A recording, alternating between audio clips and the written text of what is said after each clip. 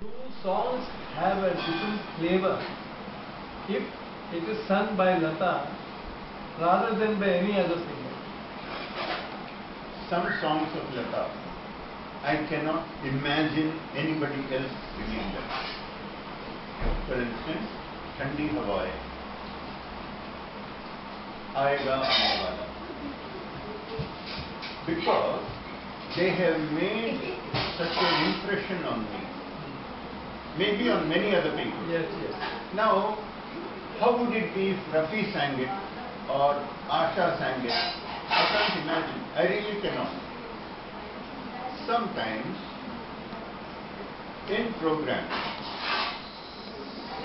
Asha sang a song of Lata. Lata never sang a song of Asha.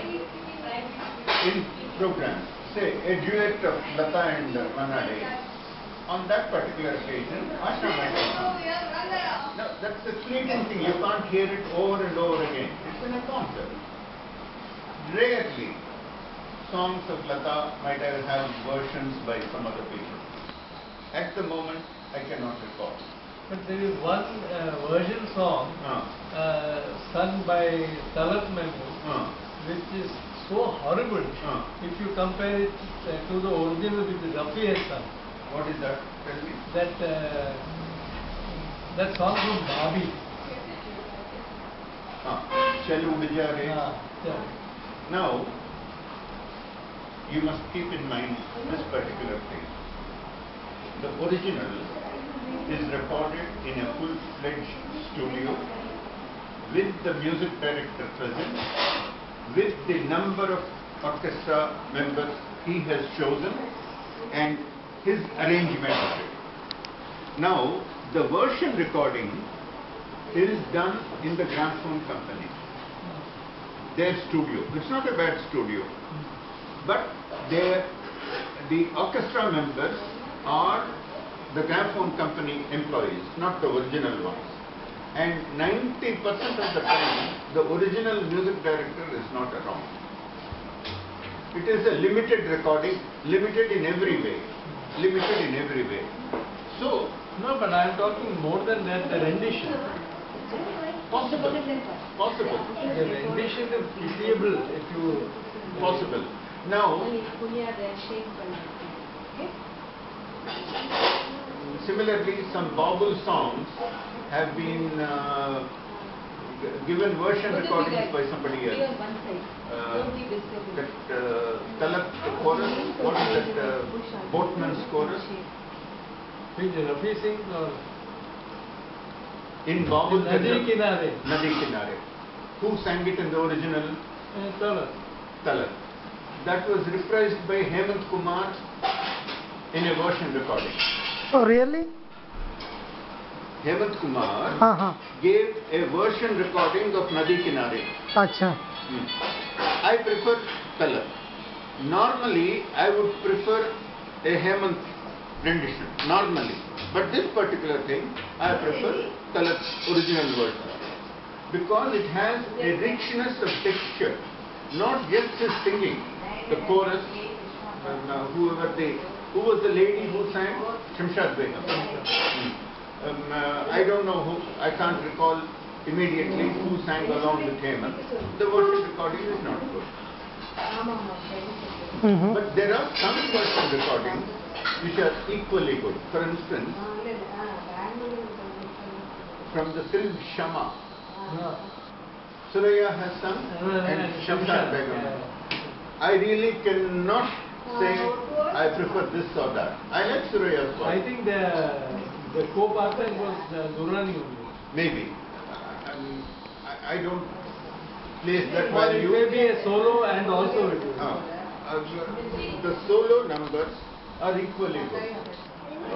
Suraya or Shamshad Begum. I like both their voices. I cannot say, in general, I prefer Shamshad's voice or Suraya's voice. I like both. And in Shama, those songs are equally beautiful. Equally beautiful. But would you also agree as far as Shamshad Begum is concerned, there are certain songs which only she could sing. Yes. I think she was a complete singer. Would you agree that? Shamshad was a complete singer. I didn't get that. Do you think that Shamshad was a complete singer? There is no complete singer, half singer, and one fourth singer. If at all, the most versatile, I would say Rafi and Lata. Because they could sing any kind of song, but any kind of song. Uh, the others were not so versatile. Ah, I would say even uh, Asha could sing a great. Yes, subsequently. Subsequently. Uh, yes, Asha, you can argue that she was even more versatile than Lata. Yes. The, the kind of songs she was given, the music directors she worked for, for instance, uh, Khayyam and O.P. Nair, who used Khayyam in one film, Umrao Jan. Uh, um, uh, I don't think anybody, you see, the music director is the composer. He visualizes a song in a particular form. He picks a voice which he thinks will do justice to. And he molds that voice. Asha has spoken in an interview for Umrao Jan. She was asked to sing in a lower key than her usual thing. And she said, Khayyamji, what is this? Nobody will like it and it won't be good. He said, Madam, you sing it. If you don't like it, we'll cancel it. She sang it, she heard it, she liked it. Over. This thing I have heard before. Uh, in Umrao Jan. I'm not talking about uh, the other film. Uh, Ranga Raoji, one question. Uh, I heard that uh, Umrao Jan was offered to Jaydev before and he had composed for Umrao Jan. I can't, I can't. Earlier in Umrao Jan, the Jaidev was asked to give the music. I do not know. And in fact, he did uh, give one song. But then later on, everything was done by Khayyam. I do not know about it. Doesn't know about it. Uh, and if Jaydev would have done, he would have brought his own stamp to. I can't say it would have been better or it would not have been as Hypothetical. that is pure speculation. Because Jaydev, when others have done 400 uh, songs, 400 films, 100 films, 150 films, he would have done 20 or 30. But in each one of them, he left behind his own stamp. Right. There is no way I can say the music by Jaydev in this particular film is not good enough. I can't say. You can say that somebody else might have done better. Where is it? That is speculation. That is speculation. Instead of Rafi, if Saigal would have sung it, it would have been better. Have you met Jaydev? Have you met Jaydev? No, I have not. I have not. I met the music directors who worked in Madras films. Uh-huh. Yes, there was Chitragupta whom I met. Sardar Malik whom I met in Bombay. Mm-hmm. I met others also in Bombay, for instance Salil Chaudhary and C. Ramchandra, but that was after I met them in Madras when they came to. One or two people I worked with them in the sense that when they were composing music for a film, I sat with them. When I say I worked with them, it doesn't mean that I did contributed something to their music. I was sitting. So, which uh, which songs do you remember you were there when they composed? Salil Chaudhary did a Telugu film called Chairman Chalamayya. It was directed by my friend Mr. G. Ramaniri.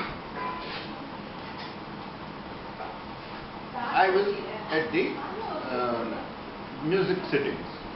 All the tunes were pre-composed by one of them uh, was from a film which was yet unreleased in Hindi. I don't remember which song it was. Mm-hmm. He used that tune. Subsequently, the Hindi song was also. I was sitting with the music director, uh, Satish Salim Chaudhary, who played the tune, the lyric writer and the director.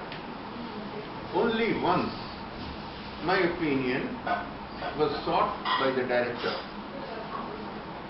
Salil Chaudhary wanted his wife, Sabita, to sing a song. He did not ask me in front of the music director. In private, he wants to have some. I said no. Have only Telugu singers. Do not uh, have Sabita Banerjee. So one definitely he would have got the best out of Sabita Banerjee, no doubt. But the Telugu people would have preferred Sushila or Balasubramaniam or Ghantasala or somebody. There would have been some difference in accents also.